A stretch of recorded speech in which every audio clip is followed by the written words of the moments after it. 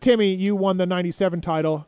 I think you've told me a few times your bonus was twenty five thousand from Suzuki. No, no, my no. '97 was uh, it was fifty thousand. Oh, oh so Um, Denny's think- was I think the twenty five. year- Mine was 25. Yeah, Yeah. I think I think the, the year before mine was um, in '96, '95 or '96. It was only 25. So yeah, it was 50,000 won the championship. for for about 30 years, Suzuki just paid their 125 guys 30k a year with like 25k bonuses. Yeah, I didn't even get that. I, my first contract was 18 grand. Twenty five hundred dollars to win and twenty five grand a bonus. I, I, I when I was working doing agent thing with Grant and Yeah. I looked at the contract. Basically, you could just add a zero to everything I was doing to what they were doing later, and I'm like, Yeah. damn it, I was Yeah. we were born too soon, Timmy. They they uh. Suzuki just I mean the number of great guys and a number of racers that jumped on a Suzuki 125 over the years. yeah, You know, and started there.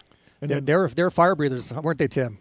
Yeah, they were. I mean, my first salary there was was 24,000, and uh, obviously I was excited. I got my, got to do my own gear and stuff too. So, um, but yeah, that '95 Suzuki was so good. Like it was. I could get on podiums before, but then all of a sudden I won a couple supercrosses. But not, I didn't really change anything that I had done. It's just the bike was and the equipment was better. So, um, yeah, that that was the bike to be on back then. so you were there in 94? 94, I was um, like your last 90, 91 was factory. 92, 93 was kind of supported. Okay, yeah. Uh, they'd give me bikes and, you know, I could sell them and stuff like that and still kind of got some good, decent support. Yep. And then 94, I think I was more, um, I think I, I was kind of on my own a little bit more, but still Yeah. they were helping me out kind of backdoor. 95, I was pretty much FNS Suzuki out of Troy, Ohio. And then you were like they hired this Rossini kid for factory Suzuki. yeah, and, and Timmy was. I think you know my dad kind of helped. You know a little bit. You know, when I think I think that was Ramsey. Ramsey kind of was coming at the same time Yeah. and helping uh, Bundy with stuff. And uh, you know, Yeah. back then it was you know box fans, so everybody Yeah. was working together and kind of Yeah. all just you know we weren't so separated as they are nowadays. yeah. Yeah, it was it was definitely a totally different environment. Um, Leroy was my mechanic, and uh, he obviously was. I think it was Phil Lawson's mechanic the year before. Then he was mine. and Then after me was I think Pastrana. So he had a, a slew of really, But- you know, pretty pretty good run, good, good riders. Those are the days though. Like you look at you two guys, you're you won the Supercross titles, right? And those are the days where like, yeah, we'll just see you on Saturday. Like just see you at the race. Like if you're Roger DeCoster or whatever, like just see you Saturday. We don't know what you're doing during the week. We don't know what your program is. We- We've got you some practice bikes, so we we hope you're riding them, and then we'll Yeah, just my- see you on the weekends. Yeah, my in the beginning they just sent me some stock bikes, and I had actually had Rossini actually build my bikes for practice. So it wasn't until like right before the season they gave us like you know the you know race cylinder or this or that. Yeah. So uh, I don't really remember like uh, an organized test schedule. I remember one time we went to Ezra's, um, and there was a bunch of us went all went, but I don't know that it was that organ. It was like we had cylinders ABC. You Yeah. just pick them. That Yeah. was yeah. That's what I was telling Steve. Same thing. You you have these many things to try. And that's what like my first year 250 Supercross. We tested Supercross at Adelanto.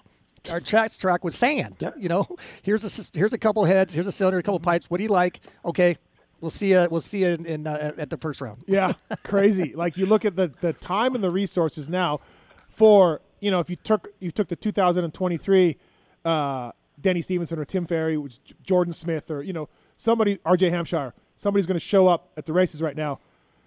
They're structured. They're, they're everything's programmed. Testing never ends. Yeah. Right. Every Testing day. never ends. You live with the team, right. And which would have been nice. I would have so loved different. that. Yeah. Well, a little bit maybe. yeah. But Yeah. Yeah, it was was different times, but yeah, I don't I don't remember. I remember Denny always coming. I wasn't sure what year he was on Suzuki, but he, him and Budman would always come down around Daytona, Daytona Gatorback, and then I was living with Tichenor at the time, so they're always there for a few weeks, and then Oh boy. yeah, they tried to they tried to derail me a little bit, but I, I kept my head down. I remember, I don't remember what year it was. Uh, I crashed in the first turn at Gainesville, and I thought I broke my wrist. I got a huge hematoma on it, and I ran to the hospital real quick to get an X-rayed. But I was like, man, we're going to Tichenor's. We're having a huge party at Tichenor's Sunday night. I got to get to the party. So I I remember going to the emergency room. I'm like, let's get this thing X-rayed. We got to go. Yeah, we got to go. And they- they told me and it was, the X-rays were negative. My dad's with me and stuff, and he's like, "Okay, well, let's go back to the hotel." I'm like, "Nope, I'm heading to uh, Clearwater. We're gonna go hang out at Tichenor's, and uh, we're gonna raid some Hunch a Punch, Yeah. and uh, and party for a couple days." And uh, and I think Timmy was there as well for it. And Timmy's like, yeah, I was I was I was renting a room from from Tishner back then for a hundred dollars a month. Um, and I was living there. He was going back and forth to Japan at the time, but Oh, that's right. uh, yeah. yeah, he was yeah he was kind of like the first like my first kind of mentor that kind of Yeah. you know kind of brought me in, and then Budman actually did a lot of stuff where he would a lot of times he didn't have a bike, so I would he would go riding with me, and he would kind of help coach me. So um, it's kind of it's it's it's kind of funny. Yeah. I'm on the phone now talking about this stuff. You know what? I I've often I, I said this to somebody. Oh, I have Tichenor's helmet in studio. Uh, right there, that twelve, right? The oh, BFE. yeah. Yep. So someone was like, "Hey, who whose whose helmet is that?" I'm like, "It's Tichenor's," and they're like, "Huh? Yeah, I heard the name." Like, and I'm just like, I'm like, dude, Tichenor was good. Like, He was national number six. I mean, he earned that number. I feel like if Tishner had gotten off Suzuki and like Kawi or Honda got him, he could have won. Ronnie was awesome. Ronnie Uh, Ronnie's peak, like in that year that he was six, the dude led Miami forever. Um, crashed in the triple. yeah, like I feel like Tichenor is really underrated as a rider. Well, and I think he, you know, for now when I look back at it, I want to say maybe at like 22 years old, he went to Japan because he had such a big deal to go over there. Um, you know, he it was like he couldn't turn it down, so he just left and went over there. I think I want to say he was making he was making a couple hundred grand over there. I'm making twenty four thousand. right. Um, but uh, so he went over there, and it was it was it was the right move. It's funny that we talk about this. Suzuki going into '96 offered me the same twenty four thousand, and I won two Supercrosses. I broke my jaw, um, so I missed the rest of them. I won some motos outdoors, won an overall. So they offered me the same thing the next year, and then and me and um, actually I went to Big Ron's. And me and Big Ron like hand wrote a letter to um, I think to Tosh okay. about why I need why I why I needed a raise, and he helped me actually write this letter. Yeah. And um, I sent it to him, and uh, they gave me fifty thousand the next year, so I was pumped. Oh wow. So You, they yeah, doubled that your was- they that- doubled your money. They doubled my money, yeah, to fifty thousand. And and and, and Huckabucka Big Ron was is awesome. Uh, one, Yeah, of, the, one of the coolest all time. Yeah. And then the fact you got Tosh to break. I hear stories from my dad about Tosh. You know, obviously. Yeah. And he was he's he's old school Japanese. You know, I mean, like Yep. fuck you. Like this is the way we're gonna do it. You know. Yeah, yeah. Like uh, he and he's with his uh, broken English and Japanese accent, but it just a just a badass. Right. You know, you want to do well for him because you just.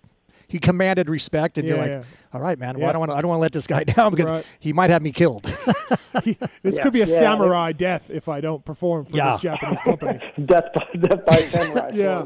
Timmy, do you remember uh, Mount Morris, the year Budman broke his jaw, and we ended up at some bar there in Morgantown, and we were playing Thumper, Oh yeah.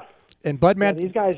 Budman broke his jaw, was but he told his wife, you know, I'm going to tell. I don't give a shit. Yeah. He was going home because he broke his jaw, literally. So he had his mouth almost wired shut, but it wasn't wired. But he could drink beer through a straw. Okay. And we're playing like a I don't. I don't. I don't actually remember that that he was had broken his jaw though. yeah. He crashed, I think, through the rollers down through the hill, maybe. But I remember What he year had- is this? What are we talking? God, it. I, I don't even remember what you were been racing at that time. Um, I, I don't even. I'm not sure. I I do remember him breaking his jaw, and uh, I just don't remember what year it was. I, I don't remember this time, but But it was only the Um, first time I the only time I ever played Thumper. You know, Thumper, where No, you're, you're, I it's don't a, even know what that it's is. a big table, Okay. and you're everybody's smacking the table. You know, da da da da da. da, and you're like, why do we play this game? It's called Thumper. Let's play to get fucked up, and then we all slam beers. I don't really know the point of the game. I don't even know what you're talking about. Yeah. Yeah. But that's first time. I Great heard, game. It's a college town, so maybe somebody got us playing in there. You Yeah. know, 'cause we're- Davey, at- probably Davey did. at a college bar, and there's literally 20 of us around this table. Okay.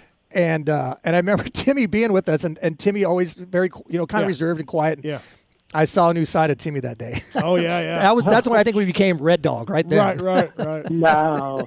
Red Red Dog started in '94 actually with Budman. That might have been it then, because well, Budman was always good at giving by nicknames like J Bone. I think. Oh, I thought Nate Dogg gave Yeah. you the name Red Dog.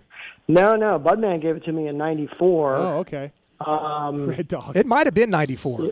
Cause I, I oh yeah, because I used to I take him riding, and uh, so I'd always make him listen to like Snoop Dogg, and I had these cassettes in my in my car or CDs, I think cassettes maybe. Probably And uh, and he always liked rock and roll music, so I was I was driving as my truck, so I always made him listen to like Snoop Dogg and stuff. and uh, so then he started calling me Red Dog because I had red hair. So that's kind of where the Red Dog name came from.